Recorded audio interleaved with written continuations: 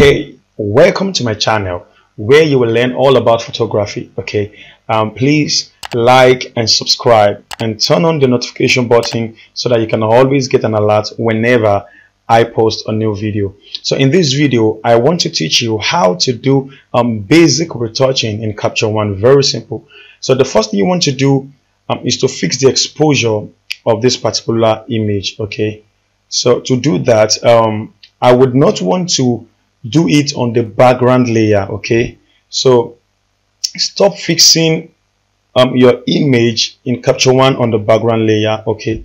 Um, open a layer for everything you want to do okay so this is how to use layers and this is how it works when, it, when, we're talking about retouching in capture one so click the plus button here um, which will create a new layer a new adjustment layer you can click it to rename it okay um, let's say skin tone or whatever you can remember as we welcome. So press enter on your keyboard and okay so this layer is what we will use to retouch the skin okay? Because I don't want to touch the background. I want to leave it as it is. There's nothing wrong with the background. I just want to retouch the skin okay? So the next thing you want to do is to brush a mask over the skin. By brushing the mask over the skin we are going to separate the skin from the background. Okay so that we can work on the on the skin independently. We can work on we can work on the skin separately from the background okay? So to do that press b on your keyboard or select the draw mask up here this the draw mask tool okay and then start brushing on the skin of your model. So press and hold m on your keyboard to see the mask you are drawing on your model.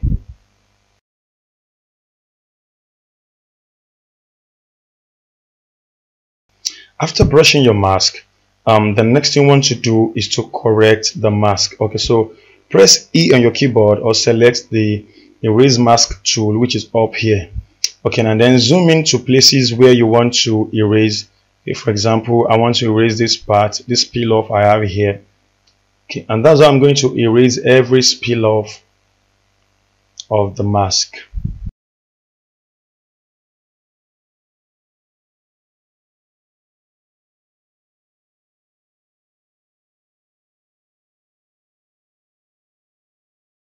Okay after correcting the mask the next thing you want to do is to erase the eyes and the lips because you don't want the um, adjustment we want to do on the skin tone to affect the eyes and the lips. So um, use your erase mask tool to erase the eyes and the lips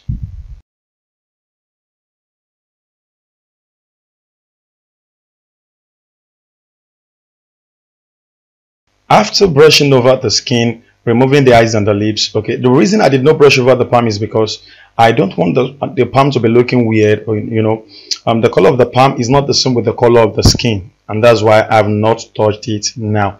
There's a need to touch it after the whole thing you will know and you will know what to do okay?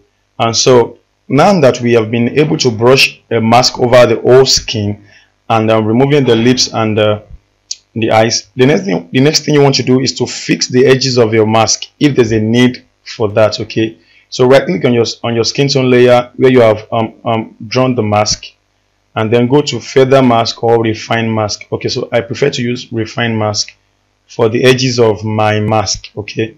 It softens the edges and makes it um, more accurate.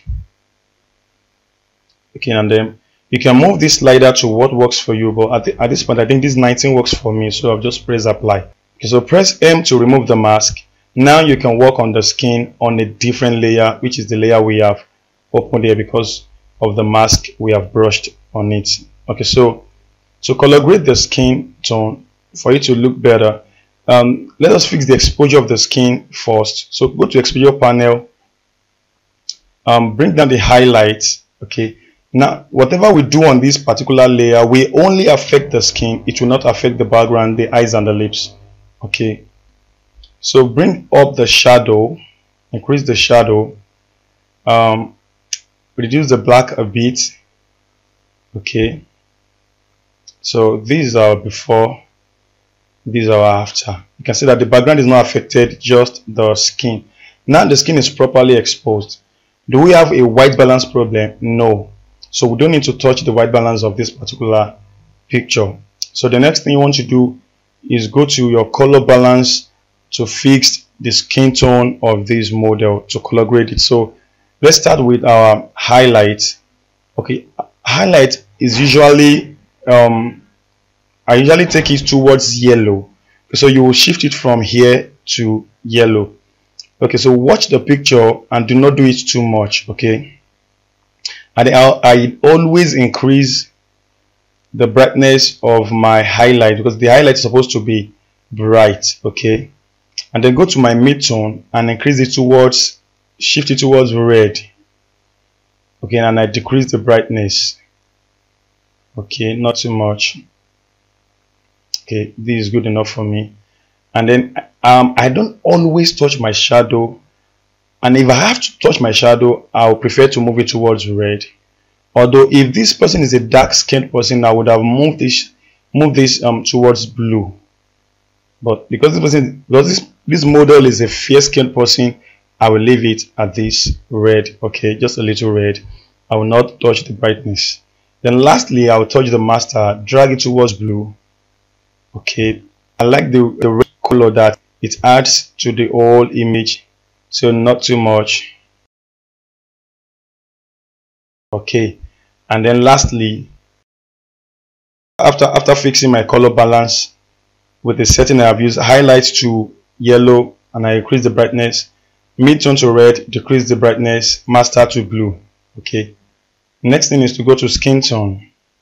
Under color editor select the color picker select the skin and then increase the saturation to what works for me. Okay if I need to increase the lightness if there's no need I'll just leave it as it is. Then the uniformity just for just to even the skin tone for the skin tones to match a bit you can touch this a little bit. Now we are done. This is the before and this is what we have now. Very very good skin tone before and after. So now let us touch the palm it's looking very very different from the other part of the body. So go back to your skin tone layer press B which is for your mask okay? And then draw mask on the palm okay?